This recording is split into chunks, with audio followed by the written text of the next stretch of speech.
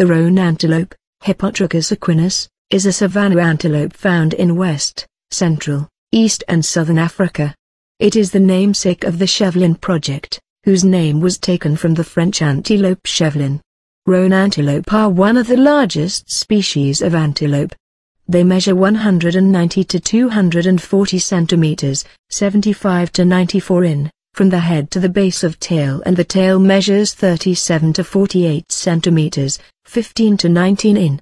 The body mass of males is 242 to 300 kilograms, 534 to 661 pounds, and of females is 223 to 280 kilograms, 492 to 617 pounds.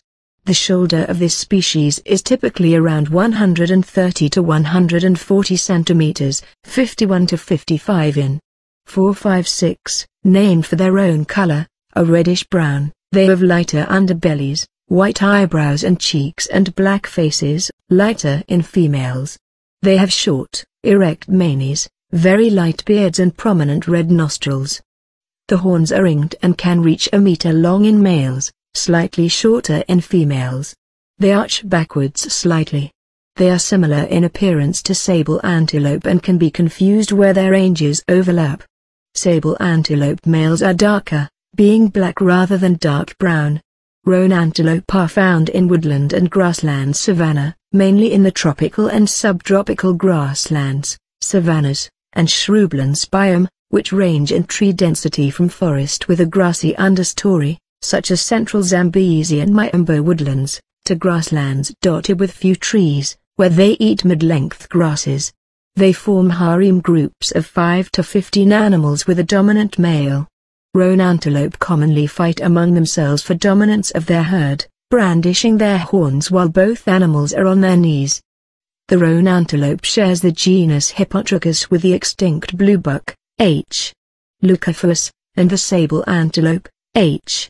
niger, and is a member of the family Bovidae. It was first described by French naturalist Etienne Geoffroy Saint-Hilaire in 1803. The specific epithet equinus derives from the Latin equus, horse-like, referring to the horse-like appearance of this antelope in 1996. An analysis of mitochondrial DNA extracted from a mounted specimen of the bluebuck that it was outside the clade containing the roan and sable antelopes. The study therefore concluded that the bluebuck is a distinct species, and not merely a subspecies of the roan antelope. The cladogram below shows the position of the roan antelope among its relatives, following the 1996 analysis.